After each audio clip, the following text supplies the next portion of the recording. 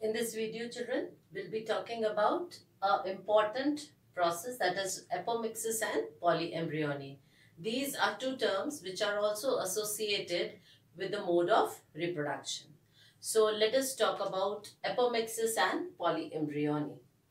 Apomixis is obtained, the word apomixis has been taken from Greek, uh, Greek word that means without mixing. Apo means without and mixis means mi without mixing that means. It is a mode of reproduction which does not involve the formation of zygote through gametic fusion. So it's when we say it's apomixis is also a type of asexual reproduction. It is a asexual reproduction which takes place in sexually reproducing plants. And over here, there is no mixing of gametes.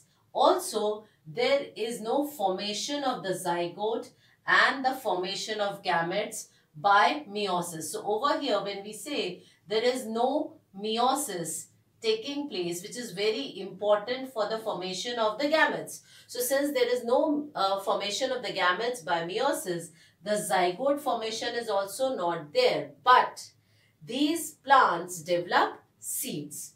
So the seed formation takes place in these plants and they are known as apomictic seeds. If we want to understand it in a better way, that means apomixis is a process or a phenomena that occurs in sexually reproducing plants.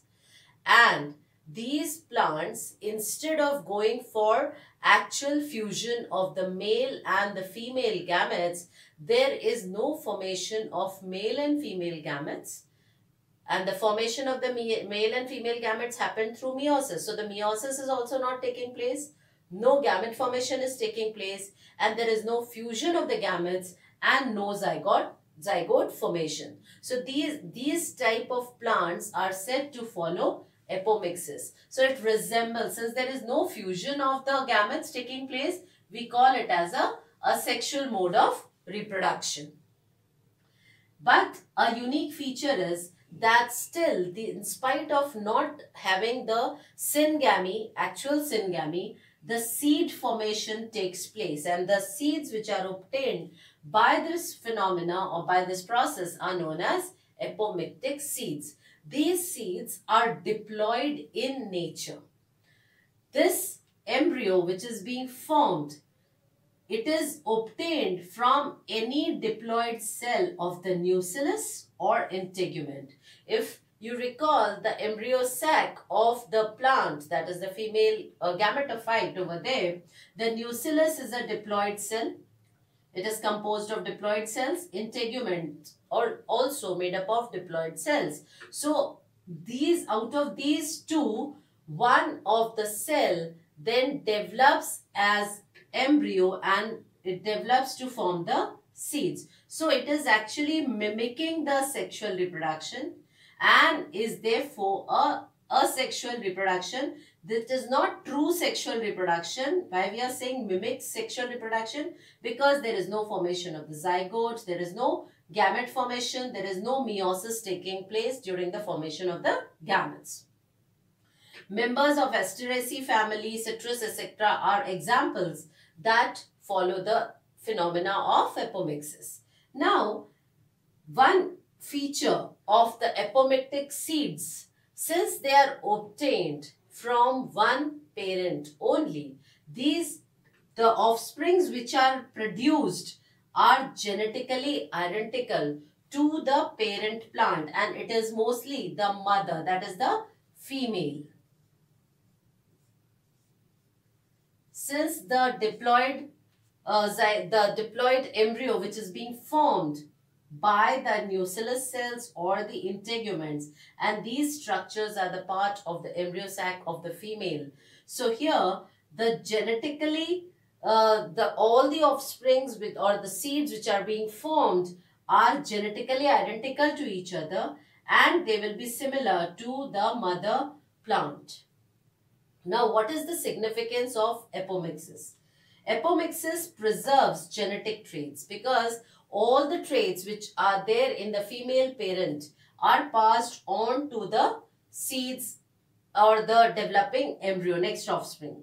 Secondly, it helps in the production of hybrid seeds with combination of desired traits. So we can introduce the or we can have the two features that is it generally preserves the genetic traits which are there in the mother and also we can produce hybrid seeds by combining of the traits which are desirable. So this is about the apomixis. Coming to another important point that is polyembryony. This is a, another feature which happens during the reproduction of plants. Now, poly means many and embryo mean the embryony means formation of embryo.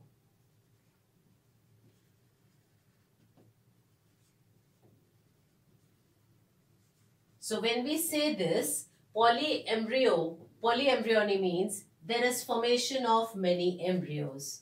It is the presence of more than one embryo in the seed after fertilization. So here the fertilization is taking place. Apomixis, there is no fertilization taking place. Only the diploid seed is being formed by the uh, diploid cells from the nucellus or the integument.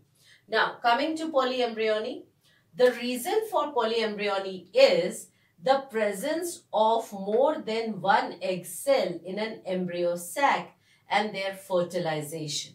So what happens sometime when we uh, we have seen the structure of the embryo sac, there is only one egg cell and two synergids which are present on either side of the egg cell. So normally the fertilization take place that way. But sometimes there can be more than one egg cell and the fertilization of all the egg cells will result into the formation of many embryos.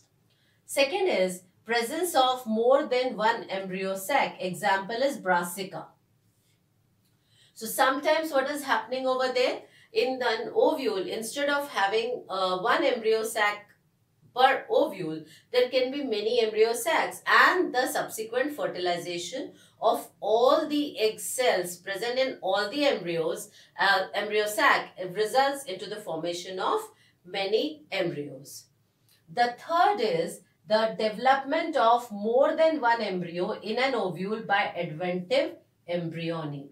So that these are the three major reasons. One is the presence of more than one egg cell in an embryo sac.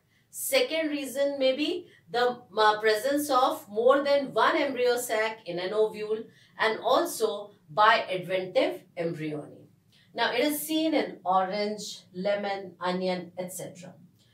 Here, since the fertilization is taking place, that means there is a fusion of the male and the female gametes, the uh, offsprings which are obtained. Now, genetically different from parents because there is fusion, but all embryos are identical to one another. The embryos will be identical to one another, but the genetic differentiation will be there from the parents. This process has a significance. It helps to survive, it helps the plant to survive in favorable conditions. So these are two other phenomena which are associated with the reproductive or uh, with the reproduction in flowering plants. You may ask what is the difference between apomixis and polyembryony. The major difference between apomixis and polyembryony is that in the case of apomixis, there is no formation of the gametes and there is no fusion of the gametes as well. Here, actual formation of the gametes is taking place and also the fertilization process is happening. So this is one of the major difference between apomixis and polyembryony. Second important point is over here the, the offsprings or the embryos which are being produced are identical to the female parent plant because the um, embryo has developed from the embryo sac, one of the diploid cell of the embryo sac.